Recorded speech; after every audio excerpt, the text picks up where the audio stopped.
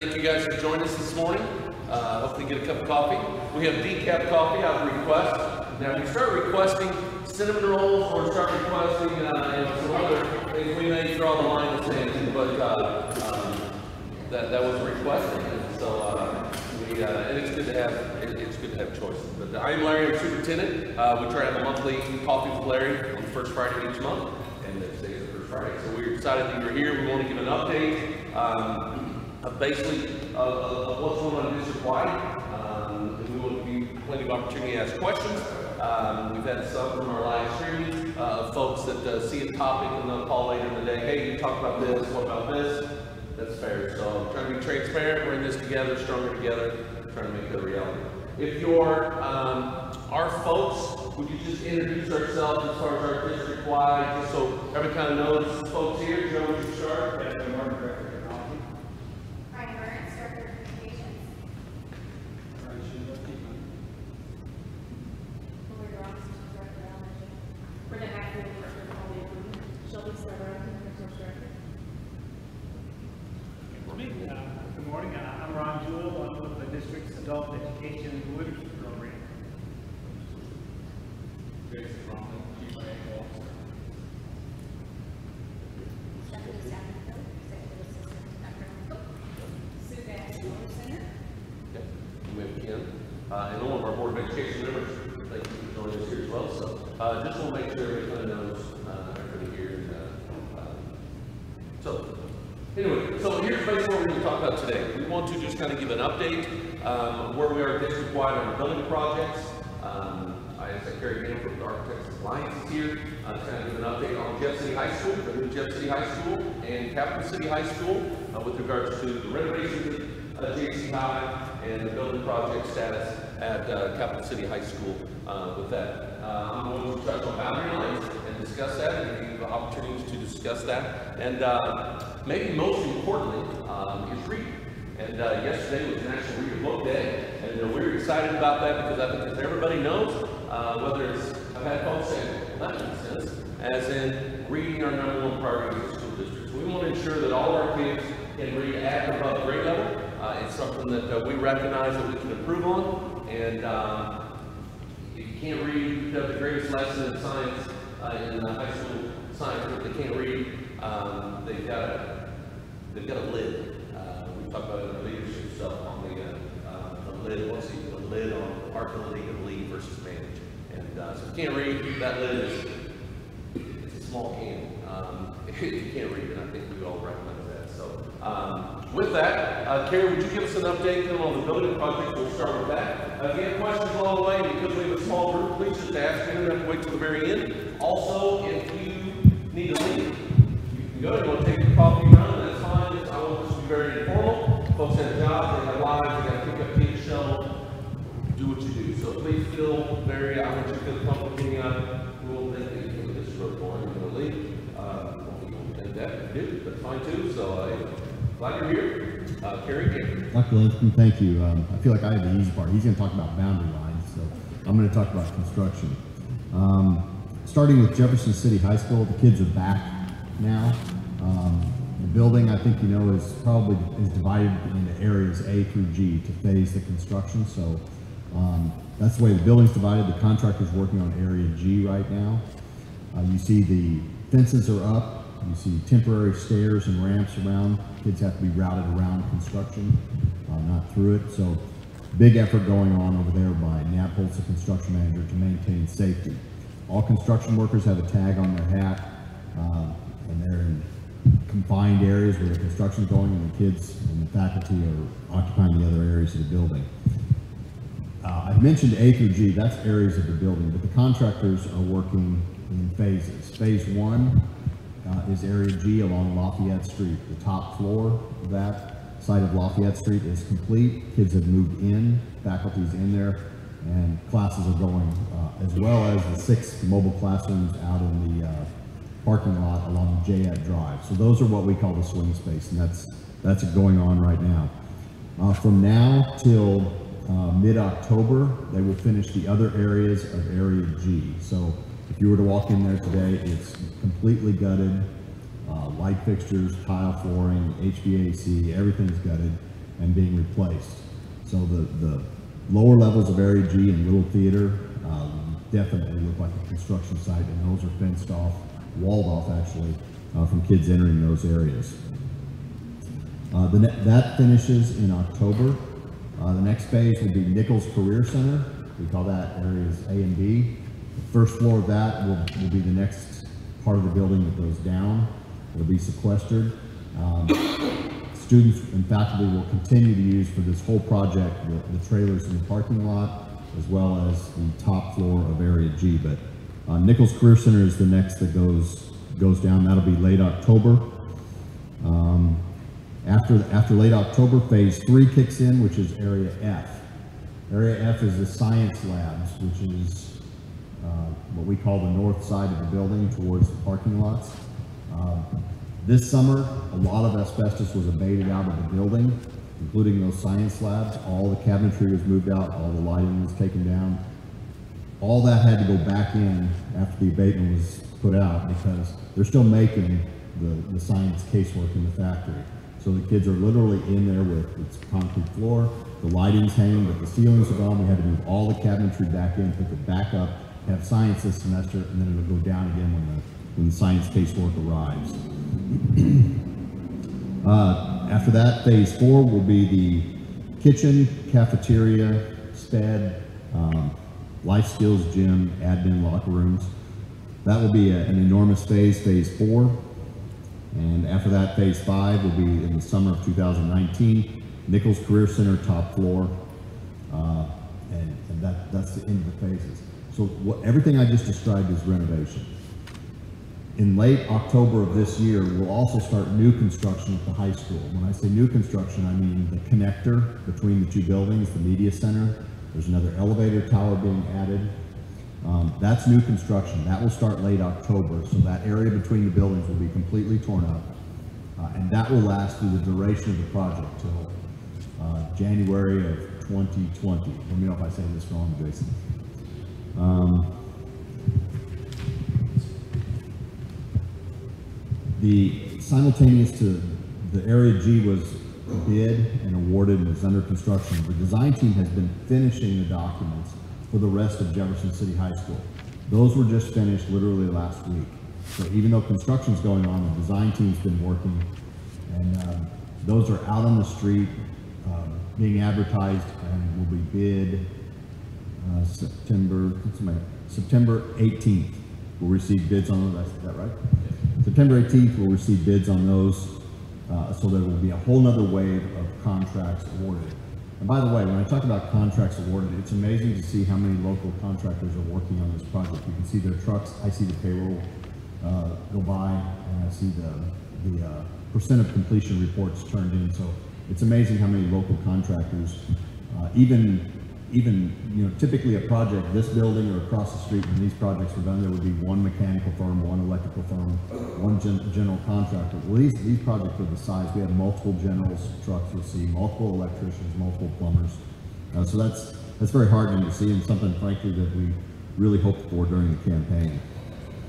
Uh, once those bids are, that I said are out on the street right now for the- all the remainder of, uh, the Jeff City High School, Nat Holtz, the construction manager, will total those, will issue the contracts. They will then report to Dr. Linthacum, Jason Hoffman, and the Board of Education for the final GMP, final guaranteed maximum price of the project. So we'll know that, um, late October.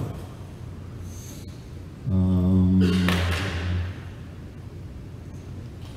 you, you've seen some trailers out there, like I mentioned, out on the uh, tennis courts.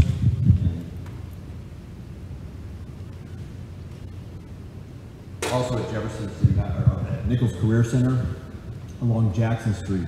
Um, Those will stay for the, the duration of the project. Those are needed, uh, also as phasing, so those won't go away until sometime, probably the summer of 2020. Uh, they're needed for, for occupancy right now. August 29th, um, we had a pre-bid conference for everybody interested in bidding all that work that's out on the street. Uh, so the design team now is fielding those questions. When I say drawings and the are out on the street, one set of drawings for this size of project is 400 sheets. We literally have people in our office that can't pick up a set of drawings. Um, and those of us that can, we grunt a lot when we pick them up. So these, these are massive sets of documents uh, going out. Thank God a lot of things are electronic now. So any questions on Jefferson City High School? We also see a lot of site utility work along Lafayette Street. Okay? So moving to Capital City High School, the early site work is complete. By early, I mean site work for the building. So we've seen a lot of dust fly, a lot of rock move, a lot of soil move. That's just for the buildings. It's probably three-fifths of the site work. We have another two-fifths coming uh, very soon, which will be working on the practice fields that are over there. Practice football, practice soccer, uh, practice baseball, and part of the tennis courts. So that's in the second site work package that's, that's coming out soon. As far as percent of work complete over there, you see the steel frame. Uh, Fifty percent of the footings are done. Sixty-five percent of the steel frame and decking are done.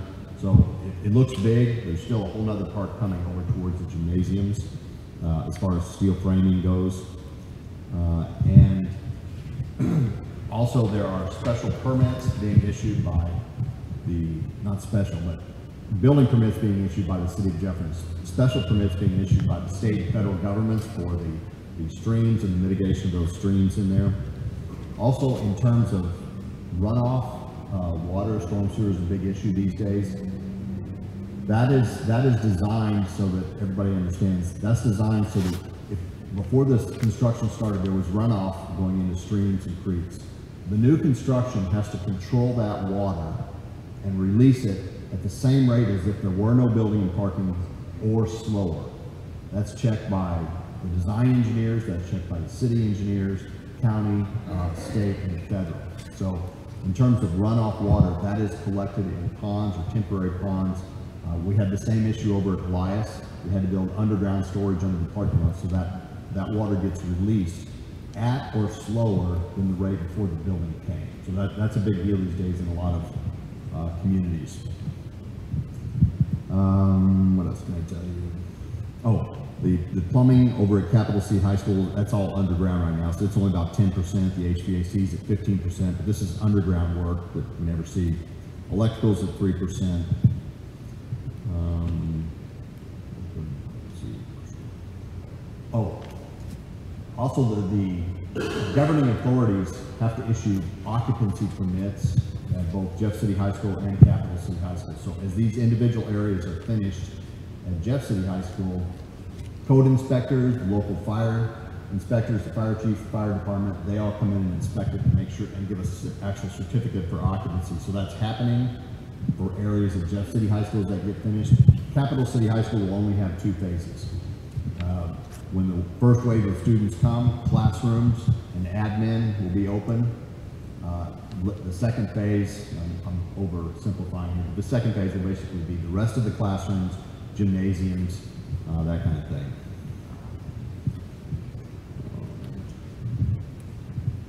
You, you have seen, uh, as far as what's on site over there, you see the framing. In September seventeenth, uh, massive precast panels of concrete with a brick veneer will start showing up. You'll see cranes on site. Those will start showing up and moving, uh, stuff into place. So that's, where's Ryan? Ryan, I took a picture of that when, Yes. when the panels start coming in. Almost done, guys. Uh, I guess the only other thing I wanted to say was, there's, a- there's an extreme, uh, collaboration effort. We've got the design team, we've got governing officials, we've got the, the fire department, the, the local code officials, um, working on this thing, so it's really, it's really a a monumental task. As far as the general contractor, the construction manager and subcontractors, uh, they are working very hard and working every day to maintain safety over there. Another design effort that's going on is furniture. Imagine a furniture purchase for two projects like this, so that's basically still in the design process. Furniture has, um, electrical hookups, some of it does, it has HVAC hookups, plumbing hookups, so a lot of things going out there. You'll see that coming out to bid. That'll hit the street again. Again, that'll be another wave of local contracts we hope to be awarded. Um, also, we are trying to nail down the graphics in the buildings. I know there's a committee uh, of citizens, and I believe Firehouse is helping with that effort, Firehouse Design. Um, those are, that, that work is also being bid for graphics on the walls, striping on the fields, that sort of thing. So, the original goal to have two, you know, very distinct high schools that are conducive to learning, safety, and community pride. In our opinion, that's going very well. It's extremely busy, a lot going on, but we think that goal is being met. Any questions? Yes, sir. Uh, what's the estimated date that, uh, the new high school will be open and it will be, will be phased in, like freshman, sophomore, Yes, sir. senior kind of thing? Yeah, it will be phased in, um, the fall of two thousand and nineteen, but it's hard to believe, looking at the building right now. The fall of two thousand and nineteen will receive the first wave. Um, and that's when I mentioned that enough classrooms to receive them, an admin, uh, and kitchen will be in place.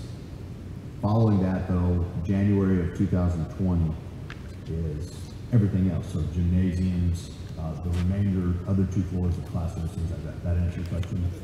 Yeah.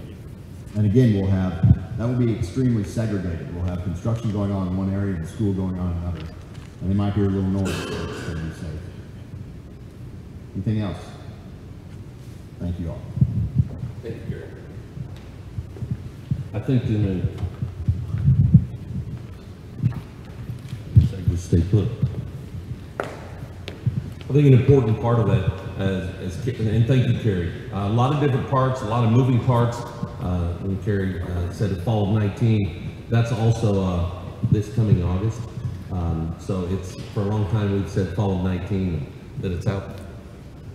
How am I doing? Yeah. Sue, I'm in a little mess here to grab some. So anyway, um, a lot of different parts to it. Carrie, thank you. Um, it, it is going to, it's a, it's a working, a work in progress. We talk about being stronger together. We all have different definitions of what stronger together means.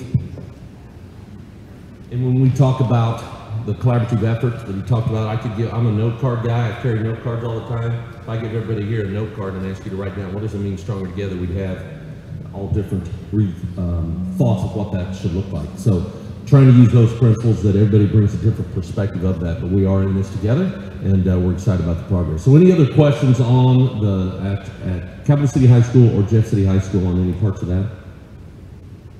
You'd like to talk about? Yes, Frank. What's happening with Nichols Career Center as far as what kind of classes going to be when it's done?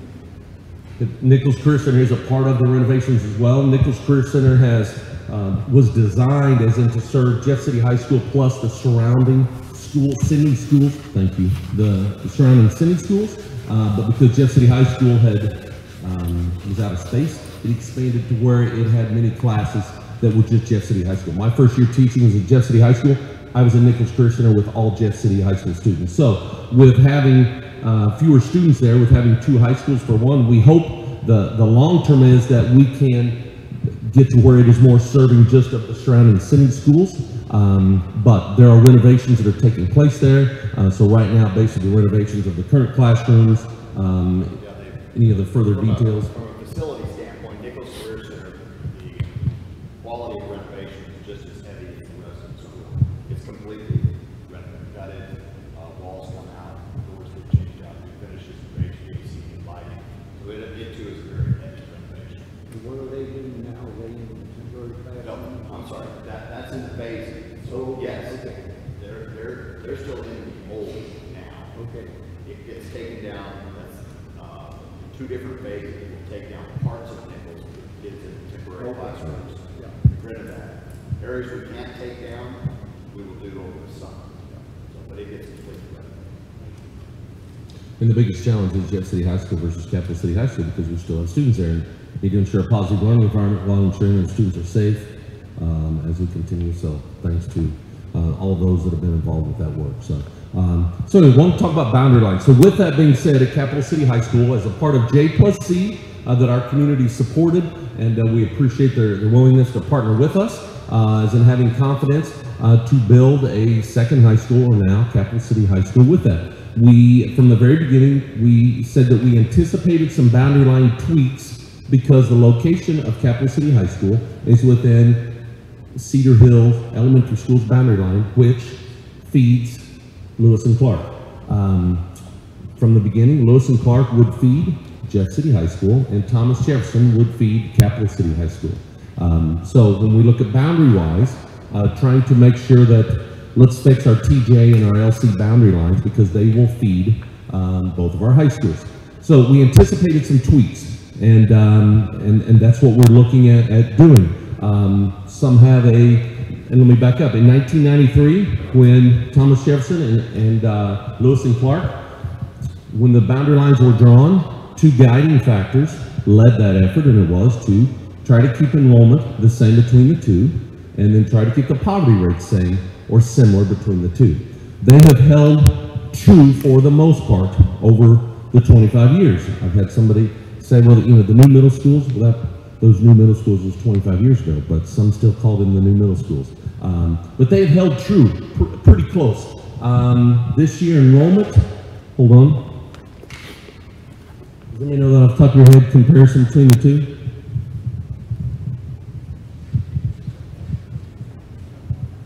Should have this memorized.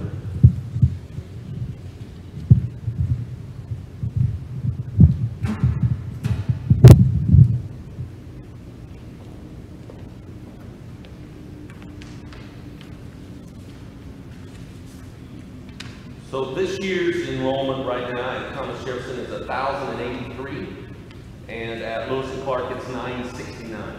Okay, so that is a hundred and fourteen more students at, um, Thomas Jefferson than there is at Lewis and Clark. Um, the poverty rate is fifty-seven point seven one at TJ. You can write anything down. This will all be on our website today, by the end of the day. Uh, we have some updated numbers, and these will all be on our district website today. You can write anything down.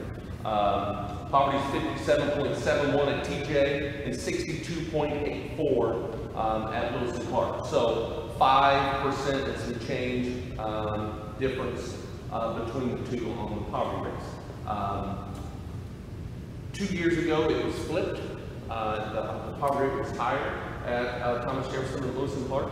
Um, but over the last 25 years, I would be safe to say that Lewis and Clark has been a little bit higher than Thomas Jefferson on average. But there have been some years um, where they've been exactly the same, where TJ has been higher. But as a whole, it has been higher at um, Lewis and Clark. The diversity at Thomas Jefferson this year is 41.74.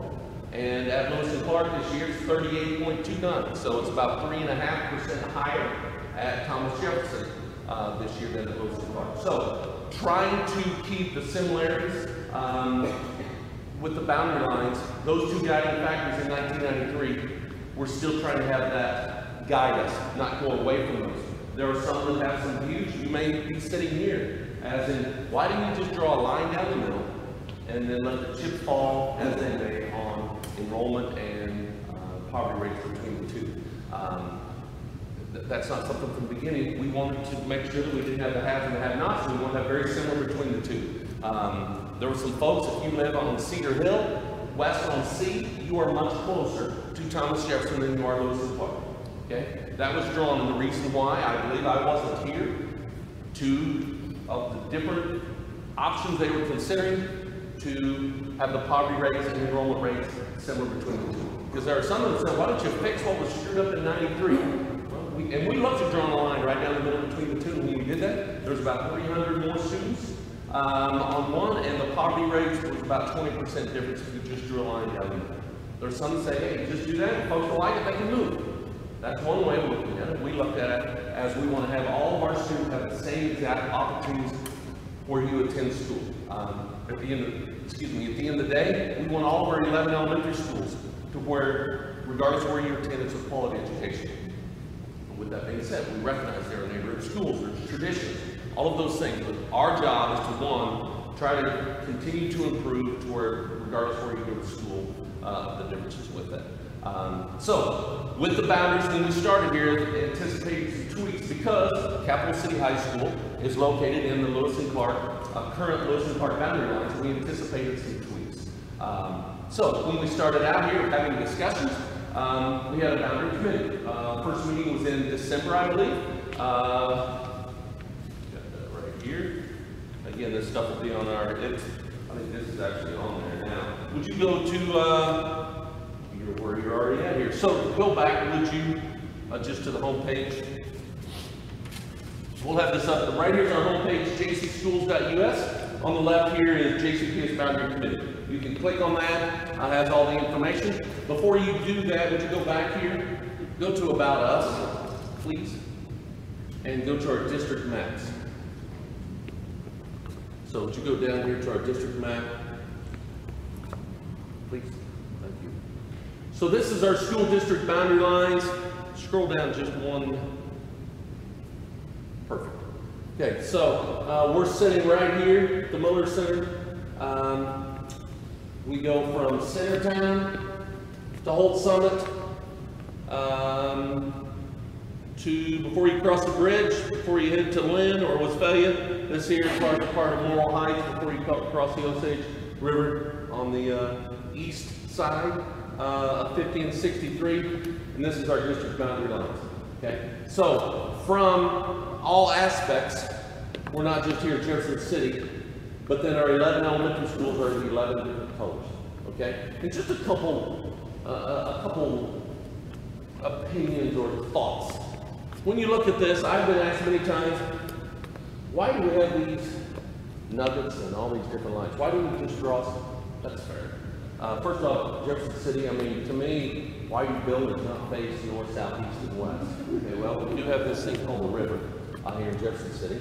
It's very rocky. We have hills and hollers and creeks and so forth, so you have to do what you have to do. So Jefferson City is not just on a straight plat map. I grew up in northwest Missouri on a farm, and we had gravel roads that went north, we had gravel roads that went east, and, uh, there would be sections. We don't have that here in Jefferson City. So, and Jefferson City has grown. Uh, you can say West Elementary sits right here. Is it at the west part of our district boundary line? No, West Elementary sits right here. You could say, why is it west on the west end? Okay, well, it's not. South, uh, east is right here. Well, you could say farther east, north, uh, North Elementary. Uh, that in a sense is northeast from where we are now, but it is north of the river. To me, it's northeast of the river, but uh, it is north of the river, as folks say here uh, many, many times. So, boundary lines are drawn. Boundary lines are a, a very sensitive topic, and uh, as a school district, we have not visited those on a regular basis. Some schools visit those every year. Uh, It's something that we, and through our policy committee, feel that we need to look at and review every three to five years um, to, at least, are they where they need to be? Do they need to be tweaked? Involve folks in the process and work through that. So that is a shift from how we have been maybe in the past as a school district because Pioneer Trail was in 2007, is that right? Uh, Pioneer Trail, boundary lines, here's Pioneer, I'll take this down. Pioneer Trail, um, was right here, some boundary lines, uh, Lawson, uh, here in the green, Southwest Early Childhood Center, uh, used to be an elementary school, now it's an early center. So, with all that being said, a lot of things when we look at boundary lines. So, let's go back to, um, any initial, just, I know that was eighty thousand feet, but any initial thoughts on our current boundary lines? Yes, Well, I'm one of the people, our family, and- and I'm honest in the uh, Cedar Hill issue. okay, Because, and I'm also on the uh, homeowners association board. Okay. And we're finding that the kids in our area, we're getting on a bus, like for the middle school, you know, one's five minutes from our house, they're on, a I could come here this morning because my kids get on a bus an hour plus before school, drive around all the way through, past the uh, junior high to go to the one on the other side of town. this in past Thomas Jefferson. and Yeah, I mean, yes, because they go down Frog Hollow, go all the way down through there, they come out near Dix Road, go all the way back to, uh, um, Thomas Jefferson, while, you know, they're on the bus, they get picked up at six forty in the morning for school to start at eight. I mean, so, and see, we, we have to, you know, driving back and forth for kids. TJ is, what, five minutes from the other direction?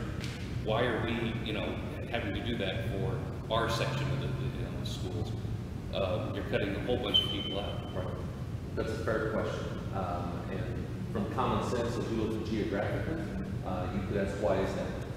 Would you go to our district, would you go to the boundary and go to option C, which has our current middle school boundary lines, and I will address that directly. So option C, so scroll down. So, other than this part, scroll down just a little bit, and you enlarge it just a shade? A plus in the lower, lower right, maybe, there we go. One more, then scroll down, please. Perfect, okay. You can't see Centertown over here. Um, so, if, if you're, are you in this area, the western part of Cedar Hill? We're over near C and one seventy-nine.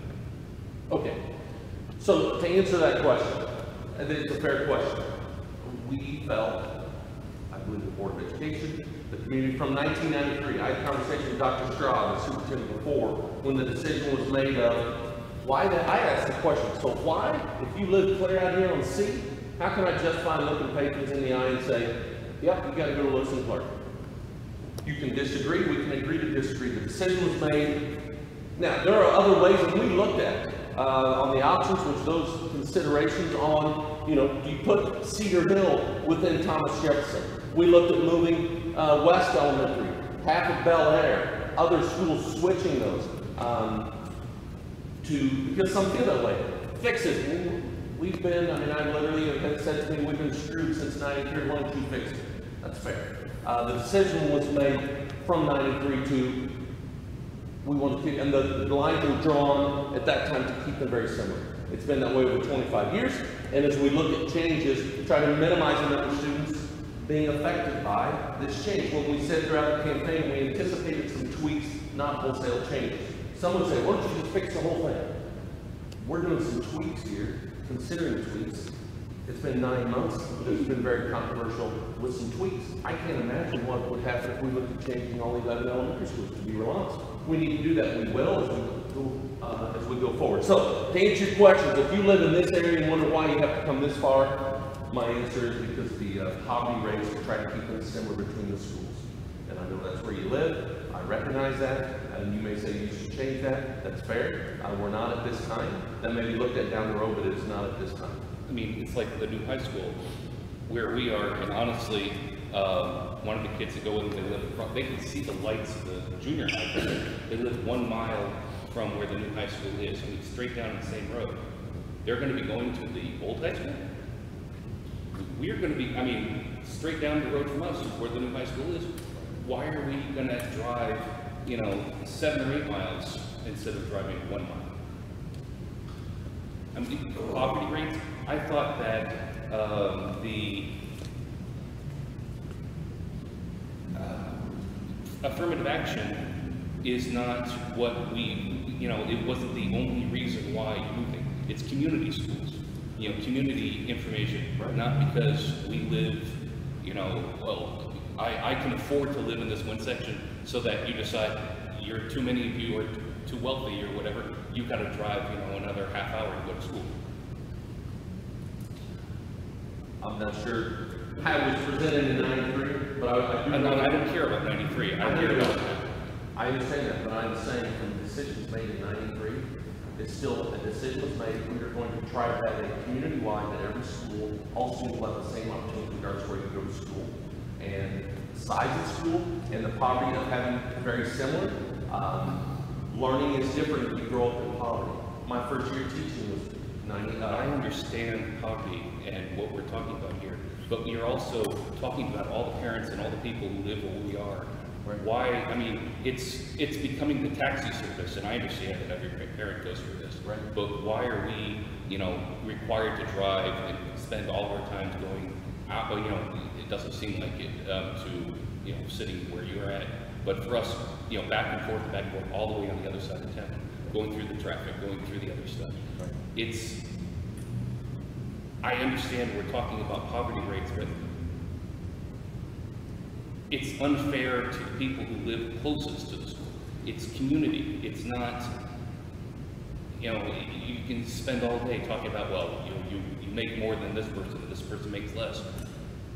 Why, you're gerrymandering, gerrymandering for not, I, I can't get the correct word? It's just, and then for us, if we want to go to this new school, because we live close, is there an ability for us to do that? Can I take my kids there without using the busing? Can I pay for tuition because it's, you know, better for my kids to be closer to my house? Um, one, you can apply for special permission. Okay, you go to Thomas Jefferson, you, you go where you reside. You live within Thomas Jefferson boundary lines, you will, uh, uh, attend Capital City High School. If you live within Lewis Park, you will attend Jeff City High School. If you want to apply for special permission, you can do that as we allow now, allow folks. Now, we are trying to tighten that between both schools because we know, we're talking with other schools, other districts, when they added a high school, when they have two, there's, uh, competition, there's recruiting. We want to make sure we have a tight process for special permission. Um, right now, at our 11 elementary schools, we have students apply for special permission. We have students at our middle school applying for special permission. Some are granted, some are not. Uh, we're trying not to split families, uh, through this process and the transition lines, that's kind of a guiding factor. Uh, so yes, you can apply for that. Can I guarantee that? No, I can't. Uh, because at the end of the day, we're asking folks, this is where, and that's why I want to try and have folks have a year notice, a year in advance, so if they do want to move accordingly, I mean, we're not just drawing lines and feel like you get over it, but we're trying to involve folks. Um, we've had seventy-four different opportunities, today's number seventy-three, We're having community opportunities to voice and trying to come up with options that we know we're not gonna make everyone happy, but try to use some common sense and have empathy and understand from your perspective. From a common sense of ge- geographically, I completely understand it. But also, a guiding factor from twenty-five years ago, and I, agree it is today, is still influencing, we want to ensure, try to have very similar schools, and those lines are totally important. So, um, we may to disagree, um, I appreciate you sharing that, um, because if you want to carry this on here to later interviews, I'd be more than happy to. Any other questions on that? I'll piggyback a couple questions. Absolutely. on That particular issue. Uh, you'd indicated, I think the spread now is about five percent on that particular rate. Twenty was too high. Do we have a target number that we're trying to hit? Well, our Like, a target- maximum number that we wanna, We have said, and through the, uh, the boundary committee, that when the poverty rate gets ten percent or more, two consecutive years, we need to revisit boundary lines. I hope we will be doing that anyway, but having that officially in writing, uh, the target, our demographer, uh, that we had hired, uh, they, their guide across the nation, if you want to try to keep similarities, was ten percent. Okay, well, I thought five percent was too high. Uh, to be honest, we want to try to have them exactly the same is the goal, uh, but that's not happening right now. Um, and we're not sure what will happen with the opening of Capital City High School. Um, Jeff City High School, I think will, um, I don't want to say will knock folks' socks off, but it's going to be awesome. And, uh, because I've been saying, oh, in this, there's not going to be stuck with this old school. You're going to have the traditions of that and it renovated. Uh, it, it's going to be an awesome school. So, the goal is similar, but the target of not having more than 10, and that we will revisit and try to make changes accordingly if it gets 10% or more difference between the two. is that a federally, is that a federal number? No, not the ten percent, the database that we're using for what the rates are. On the poverty, Yeah. those that qualify uh, for free and reduced lunches, so that is a federal, those have changed over time. Uh, I started there earlier, we're gonna be, we're at 60% this year. Um, It was 26, 27% in 95, 96, so it has changed over time. Our demographics have changed um, with that, but it is a federal that those qualify for free and reduced lunch. So it's a free and reduced number? Yes, it is. it is. Okay. And that's what most all schools use across the country for that. Is it an absolutely uh, a reliable or valid number? Uh, It is one way of measuring and the best number that schools use. One more question. Um, And I certainly understand, and I think it's important to keep those numbers as close as we can also, just be- because of various issues. Uh, But the idea that a child could go to school at East or Pioneer Trail, and the numbers would be, let's say, markedly different, do we think that they're not receiving the same education from the standpoint of resources that we're providing through the school system, the types of teachers that are there? I mean, I certainly get that a, a child in a certain home might be disadvantaged, but within the school itself, are we, are we not able to move resources around in order to provide the same education, no matter what that rate might be? Great question, and Brian can elaborate more, but uh, Brian I would say that our higher poverty schools, we have more resources. Um, we have schools that we're talking about South Elementary in the last few days, of they're potentially impacted here of the extra resources they have because of the higher poverty rates in uh, some of our schools. So uh, at the end of the day, we want to ensure that we do have all the resources. Can they be moved? Um, There's more resources at East Elementary than Pioneer Trail. East Elementary is our second smallest elementary school. Um, That is, I don't want to say it's by design, but we want our higher poverty schools to have small enrollments, smaller class sizes. Um, And that's something that is, we're trying to keep uh, as a part of this moving forward. But Fair question. I don't know if that's enough. The- Yes, they are. I mean, uh, our, our reading coaches, um, we have more of those uh, in our higher poverty schools than we do in some that are lower poverty schools, just for example. If I also mention, we're, we're in addition, we're also asking for, from a board perspective, looking at, uh, demographics, not just free and reduced, we're asking for diversity in terms of minority as well, so, I those numbers are available, and so it's not just that single number of free and we're also, say, considering, um, minority populations into that discussion. And we have, those be on our website today, um, for all the adjacent schools, that will be within the boundary committee tab as far as updated information. So, Okay, so, I wanna- uh, yeah, Frank, Am I correct that it's the board's decision, or is it the super- the board's decision? it's the Board of Education decision, absolutely, absolutely. When you look at your boundary lines with regards to the outside, whether Jamestown or New Bloomfield or Blair Oaks, um, those are community-wide, but within our district boundary lines, that is within internally our Board of Education. I mean, those type of things going to the voters, if you were looking at moving your boundary lines, saying, hey, Blair Oaks, give us this portion, or Southern Boone, make it, those, uh, when you make those changes, but internally, uh, those Board of Education uh, approval. Okay? We also have the property tax versus the population. Uh, Because in some of the, uh, lower income areas, a lot of people are renters versus property owners. I don't know, do we have those numbers as well? To know the number that are. Well, I mean, like with this boundary between these two new schools or between the junior highs, uh, do we know one side where the property taxes are coming from versus the other side? Um, Versus just the free and reduced? Specifically, Jason, do you know as far as what's on between the, t- specifically broken down between the two, I mean, between the middle school boundary lines here? Yeah. Or is that what you're asking there? Yeah, I'm right now, just because we know the middle school boundary lines, we know if they're equal between both sides where property taxes are coming from, because that's where the school board gets their money. I mean, Well, it's the school as in.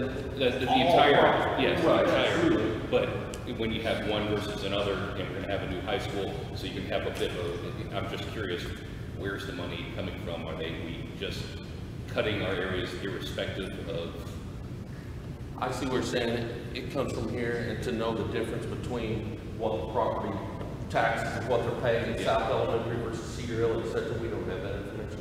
Is that safe to say, Jason? So the overwhelming majority of property taxes actually come from commercial property taxes. It's more than fifty percent of it all comes from commercial property taxes. So where a big factory might sit would be a big driver. So we wouldn't distribute our property tax money in one elementary school just because it has a big factory there. And then none of it, it's, the property taxes are collected district-wide and be distributed for all students.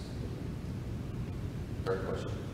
Fair Art, anything else on that? So I want to look at the, the, the scenarios that basically to three uh, considerations. We've shared these, so, so let me back up here. So the- portion here, I want, I just want you to see, so right now, it's in the pink, which feeds Thomas Jefferson, and in the light blue feeds Lewis and Clark. Okay, uh, and right now in the pink has, I shared earlier, 114 more students, um, 3% higher diversity. Um, here, 5% higher, uh, free and reduced, uh, in the blue. Okay, so this is what we currently have. One portion, we split Thorpe Gordon Elementary School right now, as far as some of our students in Thorpe Gordon, when they finish fifth grade, some go to Thomas Jefferson. If you live in this portion right here, the blue is around this, if you live right here, you go to Thomas Jefferson. The other students in Thorpe Gordon go to Lewis and Clark Elementary. So, in all, all three of the scenarios we have right now, all of, uh, Thorpe Gordon will be attending Lewis and Clark and then to, uh, Jeff City High School, uh, with that. So, let's go to, let's go back, and can we just go to, uh, option A? Again, we'll have these updated here today. Option A, we're looking here, and I may have to go back to our district, right, go ahead and scroll down. This right here is of Cedar Hills boundary lines. Okay, and if you're one seventy-nine and C, are you in this area, right in here somewhere? Okay, in this area here. This here is Cedar Hill. In option A, it is basically moving this portion here, which is of Cedar Hill. Go to our district boundary map, real, district map real quick. So what we're saying is, the top portion of this is what we're looking at, and right in here is what we're looking at. In option A, would be moved from here, Cedar Hill would be moved into the purple south. Okay, so go back to that, please. Okay, so here we are, boundary lines here of South Elementary instead of here, this purple. This is added to it, this portion here that's been in Cedar Hill would switch to uh, South Elementary School.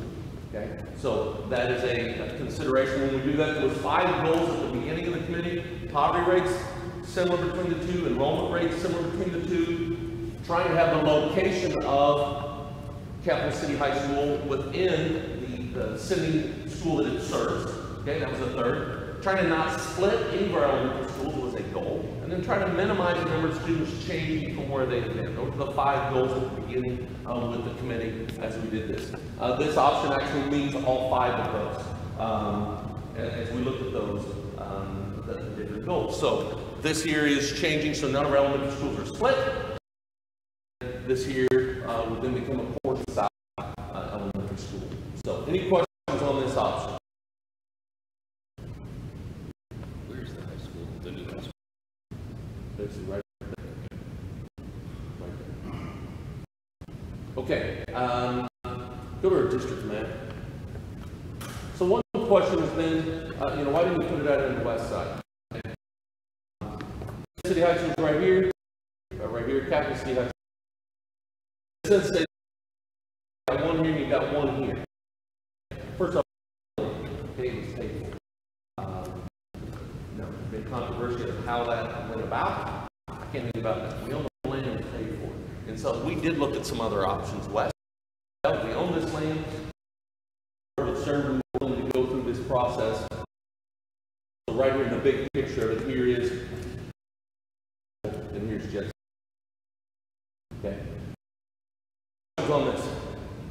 So let's go to option B. Option B is same as option A. And it does not go into effect, scroll down, we'll have these numbers up. This is not going to effect until middle school and high school age. Meaning, I live here, in this portion, they still attend Cedar Hill. But then we would split Cedar Hill like we do for Gordon now. If I live right here in option once I got to the middle school age, I would in the Capital City for high school if I lived, live in this portion. Let's split uh, Hill, which one of our goals was to not split any of our elementary schools like we currently do four, Uh, would be splitting. Okay? Any questions on that? Okay? Okay, so let's go to option C. Option C is looking at. So option C is leaving it as is. Other, make sure all the purple up here, uh, would be the, the left one here. Right here, the pink is Thornton. This downtown portion of Thorpe Gordon currently goes to, we're gonna have all Thorpe go to LE Thorpe Gordon. Um,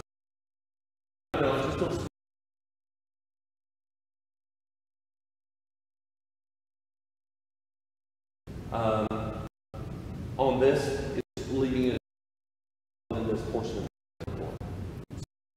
As the name is not located within the area that it's served. You could live right here, drive Jefferson City High School to, um, City High School. Excuse me, drive by Cap, we'd like it to reside in the, that was one of the goals we set at the beginning.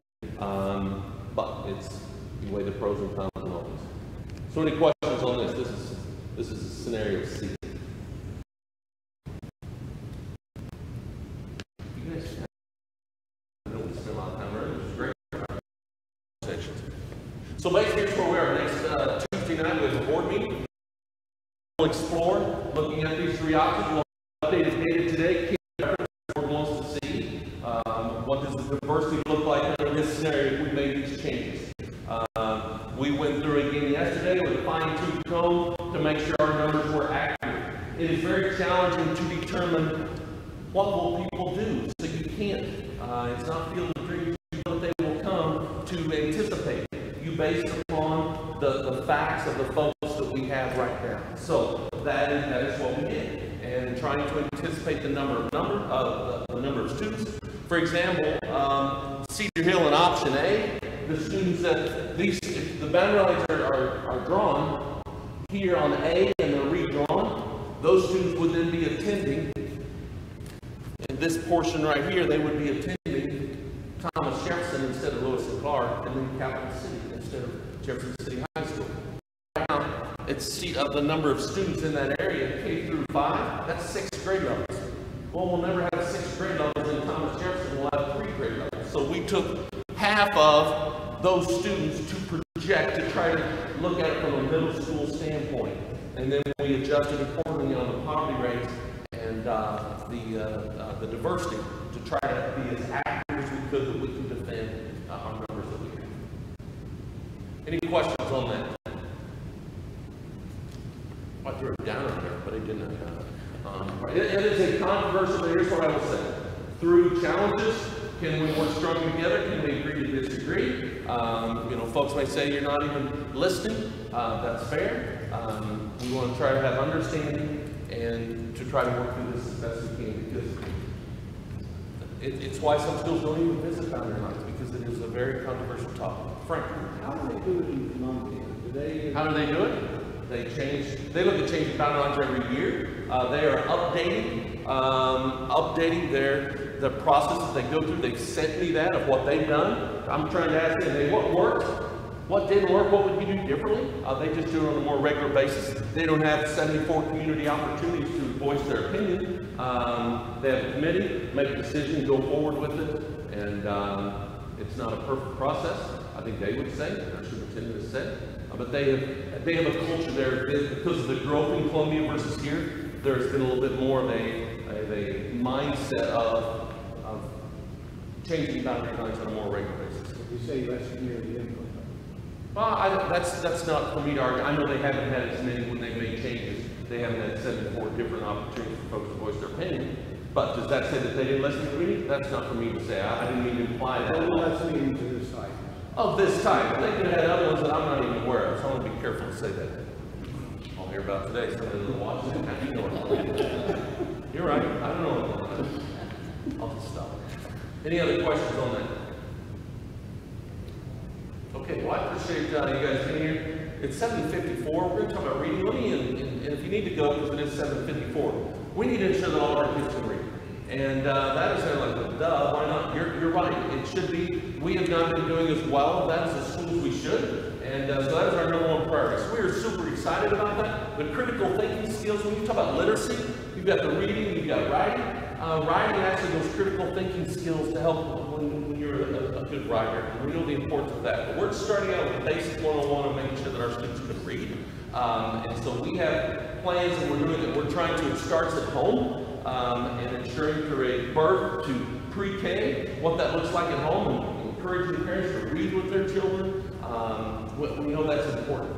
Um, once they, and expose them uh, to reading. Once they get to school, your research would say students learn to read between ages five and seven is what the research would say. That's kindergarten through second grade as a general rule. We want to make sure we're doing that right. Um, and, and how we do that. So that is something that our learning folks and our elementary are really taking a step back and assess how we're doing that and making changes accordingly with that. Grades three through five, we want to make sure and grow um, those to, to improve where we are, then also intervene as needed and catch up if needed uh, in grades three through five and the importance of that. So we're excited about that. And then the six through 12 standpoint of across all content areas. Traditionally, you have your uh, sophomore biology teacher say, I'm a biology teacher, it's not, it's not my fault that junior high didn't junior high teachers said, it's not my fault how to read, and the elementary teachers say, well, parents, why didn't they just how to read growing? That is a skewed version of how some might look at things. Um, it's all of our responsibility. So we're asking the community, we're asking parents, we're asking staff, uh, across all content areas, uh, of reading as a part of everything we do. So all K through twelve, whether it's a weightlifting class, whether it's a music class, reading is a part of that. And, uh, that's something that's not gonna go away, and we are super, uh, super excited about that, so.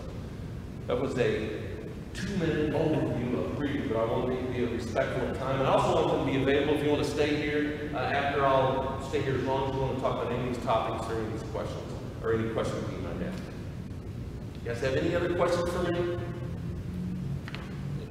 Yeah, go ahead, you're fine. I'm just curious why, what's the, yeah, No, you're good. Okay. Sir, uh, why you're moving, was it the, the school, I don't remember the name of the school up here that's in half, uh, Thorpe Gordon? Thorpe Gordon. Yeah. Why are, because they're closer to Thomas Jefferson, why don't you move the entire school, I mean, to Lewis and Clark that direction, and move Cedar Hill the other way, so that they're in the same district with the new school?